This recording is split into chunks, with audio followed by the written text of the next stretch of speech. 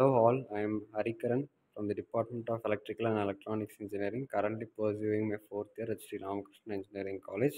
So the title of the project is Digital Water Meter Using IoT. Uh, so the main motive of this project is to digitally monitor the usage of water in our uh, home applications uh, and uh, it can estimate the uh, amount uh, used for each unit of water used and can also notify the message to the user in his mobile application where it can where the user can be efficient in using the water and can know the terms and conditions of his water usage in his home.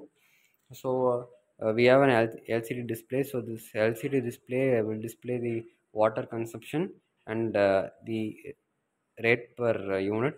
So this water flow sensor we have two water flow sensor. So when water is passed through this it, it has a, a turbine in it. So when the turbine rotates uh, the water quantity and the wa- and its volume is uh, calculated here we have a pump for uh, accelerating the water into the pipe. And we have all the power supply units here and a push button in emergency cases to switch it off and a regulator where it can uh, regulate the power supply of from a adapter 12 volt adapter uh, to 5 volts. So 5 volt is needed.